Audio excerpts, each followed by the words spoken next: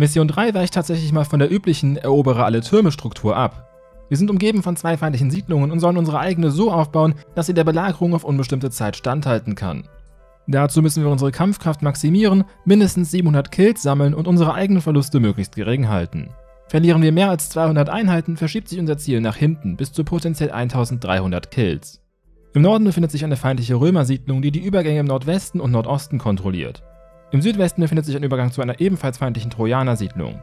Beide Siedlungen starten mit maximaler Kampfkraft. Allerdings ist keine der feindlichen Siedlungen in der Lage, zu uns zu expandieren. Wir können also alle Türme, die nicht zur Verteidigung beitragen, abreißen.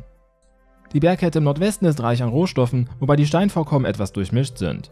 Dennoch empfehle ich den Bau einer Steinmine und auch die Investition eures Startmanners in den Steinfluch, um einem Steinmangel vorzubeugen. Eine riesige Armee werdet ihr aber nicht brauchen, da ihr nur die gelegentlichen Angriffe der KIs abwehren müsst.